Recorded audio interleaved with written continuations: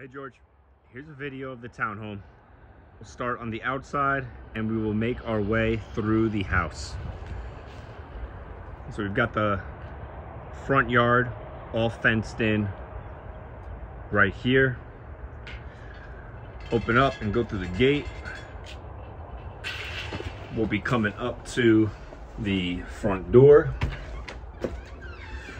And we've got the couple bedrooms and offices downstairs. We've got the garage immediately to the right. First bedroom to the left has been turned into an office, couple big windows right there. We've got some storage space under the staircase. We've got full bathroom right here. Walk down the hallway.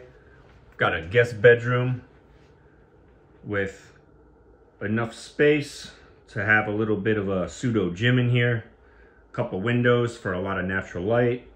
And then we've got um, a nice size closet in there. So we'll head now back down the hallway up the staircase, carpeted stairs, and then back to some hardwood, hardwood floors.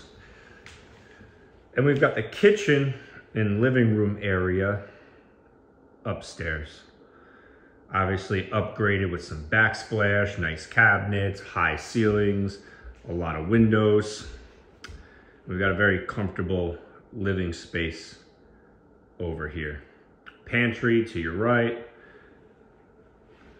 Some more office space.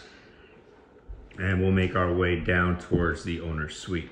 Got washer dryer to the left, HVAC to the left. In here, we've got a half bath with a nice window.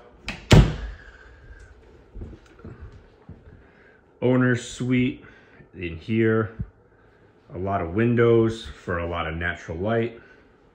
If you didn't notice, we had the French doors when we walked in.